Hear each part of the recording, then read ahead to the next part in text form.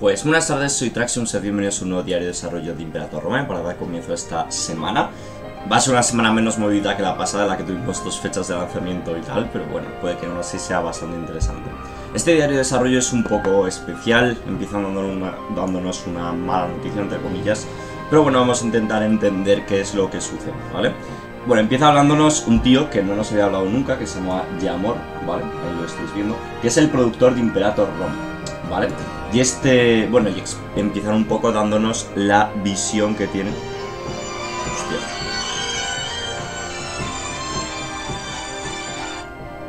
Perdón. Empiezan dándonos un poco la visión que tienen sobre eh, distintos puntos, o sea, lo que hace cada rol dentro del equipo de Imperator Rome, ¿vale? Por ejemplo, el director hace una cosa, el líder técnico hace otra cosa y el productor hace otra cosa. Sobre todo, el productor a lo que se dedica es a organizar el tiempo y el eh, dinero que pueden destinar a distintos apartados del juego. En este caso lo que nos dicen es que, bueno, pues eh, Paradox, como una empresa medianamente grande, siempre va fijando fechas de lanzamiento de, los, de ciertos productos y una vez se fijan esas fechas de lanzamiento, pues se fija el proceso o todo lo que viene dentro de un juego, por así decirlo, y eh, se procede a trabajar en ello y a lanzarlo. ¿Vale? ¿Esto qué significa? Que igual estando, a, por ejemplo, ahora mismo, que quedan tres meses para que salga Crusader Kings 3, todo lo que va a tener dentro Crusader Kings 3 ya está prácticamente fijado, ¿vale? Entonces se pueden hacer pocos cambios grandes. Pues un poco lo mismo sucede con Imperator Rome 1.5, ¿no? Se habían anunciado bastantes cosas para la 1.5 y al final han llegado a la, a la, conclusión de que hay varios aspectos, o al menos hay un gran aspecto de la actualización, que eh, podría estar en tiempo, podría estar a tiempo para el lanzamiento de la expansión, que entiendo yo que va a ser antes del descanso de verano, pero dicen que esa función no iba a estar a la altura de eh, lo que se esperaba de ella, no iba a ser una gran adición al juego, por lo cual la retiran del parche 1.5 y eh, trabajarán con más, eh, más fuerte en ella en el futuro, ¿no? Entendemos que para el 1.6, ojalá. Estas características son las interacciones con los vasallos, ¿vale? Aquí lo dicen, las interacciones con los vasallos, el, bueno, progresión de vasallos, o de, de, sí, de vasallos, el sistema de relaciones envolventes entre el señor y los vasallos que anunciamos en, la en el primer vistazo al parche Menandro ha sido recortado de la 1.5, es decir, que no lo veremos, ¿vale? No vamos a ver mejorado todo el tema de interacción entre vasallos y señores que esperábamos ver, la verdad, bastante. Yo personalmente es una característica a la, que le tenía muchas ganas, pero como dice eh, a posteriori, ¿vale? pues eh, podría haber, pueden haber llegado a meter algo de la interacción entre vasallos y señores en la 1.5, pero no estaría al nivel, ¿vale? No sería algo que ahora mismo, con el tiempo que les queda para hacer esa actualización, esa mejora, pues no iba a ser algo digno del juego, ¿vale? Entonces por eso han decidido recortarlo. Bajo mi punto de vista, no es malo en sí, obviamente, ojalá hubiera estado, ojalá hubiera estado para el 1.5. Eh, podemos decir, joder, pues deberían retrasar el parche o deberían eh, quizá lanzar la actualización más tarde. Es lo que podemos pensar todos, ¿no? En plan, joder, Crusader Kings 3, si, si van a anunciar un DLC de primeras, ¿por qué no simplemente se esperan un tiempo más para lanzarlo y todo el DLC lo meten en el juego base?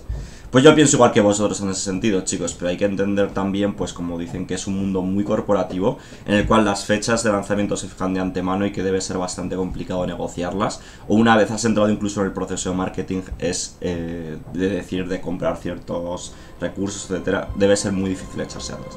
Entonces, bajo mi punto de vista, pues es una pena, obviamente, que no vaya a estar luego la interacción entre vasallos y señores en la 1.5. Esperemos que llegue en la 1.6, eso sí.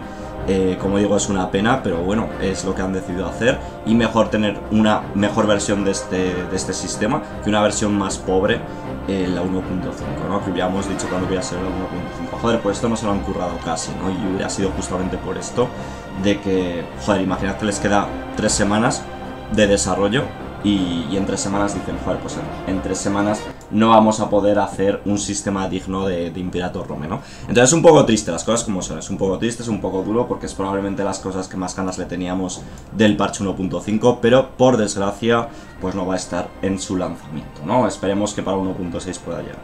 Eh, ya que tocan la guerra y esas cosas, etc. Pero bueno, es un post muy interesante desde el punto de vista de un productor de, Imperator Rome. Yo os animo a echarle un vistazo si no tenéis problema con el inglés al menos leer hasta esta parte. De hecho, el tío dice que tiene una conferencia en la ParadoxCon que, le intentaré echar un vistazo. Dice, eh, aplicando principios del ejército al desarrollo de juegos, ¿no? Es una conferencia de media hora, es este tío, ¿vale? Y bueno, que igual es interesante, ¿vale? O sea, igual está bien leerlo. En fin, vamos ahora ya con lo que sí que anuncian, que va a estar disponible en, este patch, en el 1.5, que es un mini rework al comercio, ¿vale? No es el gran rework al comercio que quiere hacer Paradox eventualmente y no es el gran rework al comercio que nos podemos esperar los jugadores, pero son bastantes mejoras que son interesantes, ¿vale? El primer interés de esto es integrar a las poblaciones directamente en el sistema de comercio o en cómo afectan al comercio, ¿vale? Eh, Aquí estamos viendo, por ejemplo, una imagen. Nos dice, por ejemplo, que los, nobles van a producir un montón de investigación y aparte cada noble va a contribuir de forma enorme al número de rutas comerciales en una provincia. ¿Qué quiere decir esto? Que cuantos, en la 1.5, cuantos más nobles tengamos en una provincia, vamos a ir teniendo eh, rutas comerciales que van a ir escalando conforme estos nobles. Lo cual me parece una notición increíble, ¿vale? Porque todos sabemos obviamente que hacer una inversión provincial de sacar rutas comerciales es muy caro. Y bueno, pues el hecho de desarrollar tu ciudad para que vayan a venir nobles allí y de que poco a poco pues vaya habiendo población más rica, esto va a repercutir en que tengas más rutas comerciales, pues me parece eh, perfecto. O sea, esto mola bastante realmente. ¿Vale? A partir de ahora, en función de los nobles que tengas, vas a tener más rutas comerciales, ¿vale? No desaparece, en principio no han dicho que desaparezca la inversión provincial de, rutas comerciales, así que para todos aquellos imperios que quieran crecer hacia arriba y crear muchas rutas comerciales en sus provincias, pues oye, una notición enorme, ¿vale? En fin, dice que eh, los nobles y los ciudadanos van a tener una especie de poder de compra, ¿vale? Que va a contribuir, como decimos, a las rutas comerciales en una provincia. Este valor va a ir correlativo al número de ciudadanos y de nobles, o sea que los ciudadanos también afectan a esto, así que maravilloso. Y no tendrá en cuenta a la población de estas unidades de población, ¿vale? En principio, bueno, no la va a tener. Dice que las, eh, las poblaciones ya no van a generar comercio, ¿vale? Pero que la idea es que utilicemos las rutas comerciales para generar dinero y tener a la población feliz.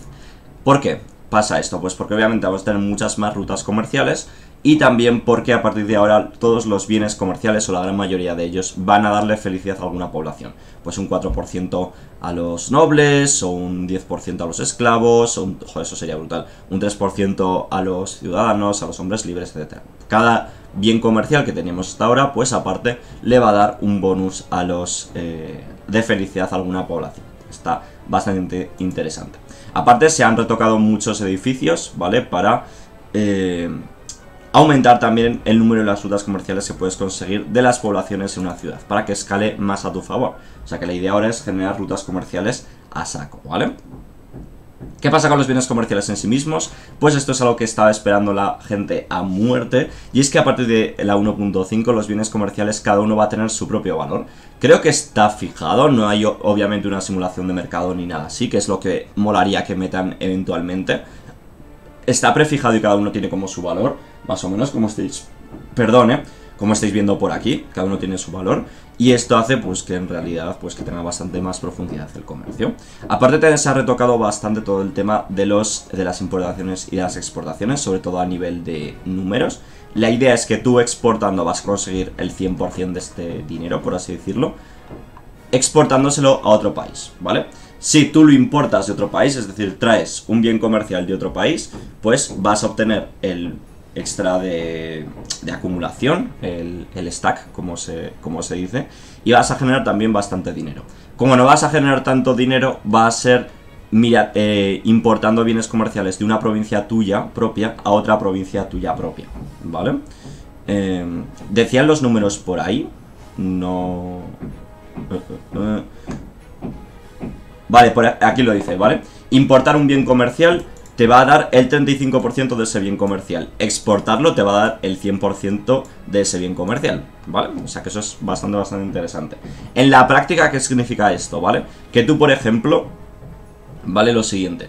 Tú, por ejemplo, tienes excedente de papiro, ¿vale? Tienes excedente de papiro porque tú tienes, eh, estás generando bastante papiro en tu capital provincial y aparte estás metiendo más papiro de otras provincias que tienes, ¿vale? vale ¿Qué es más rentable para ti como jugador? Pues que ese papiro extra de otras rutas comerciales de tus otras rutas comerciales interiores, lo exportes, de modo que obtengas el 100% de dinero por ese papiro, y a tu capital principal importes ese papiro, ¿vale? Porque eh, vas a ganar más dinero, es decir, vas a ganar literalmente un 65% extra de valor, ¿vale? Y aparte, pues vas a conseguir el bonus. Y de la otra manera, pues simplemente estarías ganando un 35% del valor. Y es cierto que conseguirías el mismo bonus. Pero bueno, tiene más profundidad el comercio a partir de ahora, ¿vale? Vamos a tener que tener en cuenta un poco estos valores para decidir qué bienes comerciales queremos, queremos priorizar. Y como vemos aquí, por ejemplo, el papiro nos está dando más felicidad a los nobles locales. Eso es importante, ya sabéis, tener a la población feliz y tal, para que produzcáis estas cosas. Y, aparte de eso, pues que va a ser mucho más valioso exportar e importar directamente con otros países.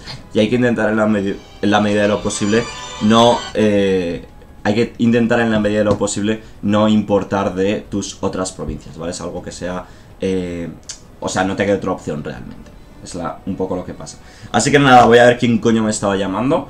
Eh, muchas gracias por llegar aquí y espero que os haya resultado de interés este, este vídeo, bastante interesante todo el tema del comercio. Obviamente, pues lo de el, tema de los baseos nos duele un poco, ¿vale? Os dejaré como siempre el post del foro en la descripción por si queréis leer más en profundidad todo el tema del rol de productor y tal, que es bastante interesante, sinceramente. Y nada más, nos vemos en el próximo vídeo. Chao, chao.